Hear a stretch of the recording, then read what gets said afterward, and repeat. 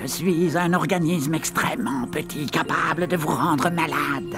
Je peux entre autres causer la grippe ou la varicelle. Et en plus, je me transmets facilement d'une personne à l'autre.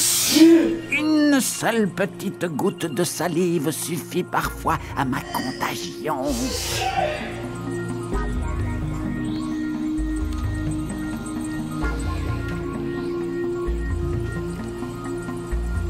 Certains d'entre nous sont utiles dans l'alimentation, comme par exemple pour fabriquer des fromages ou des yaourts.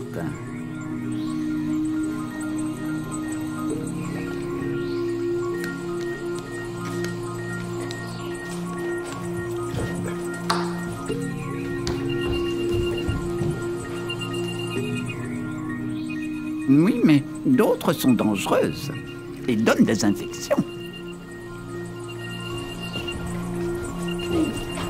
Salut.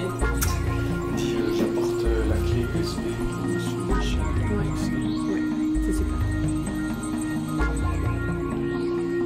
Je suis un organisme très petit que l'on retrouve sur la peau, dans l'air, sur les plantes, dans l'eau.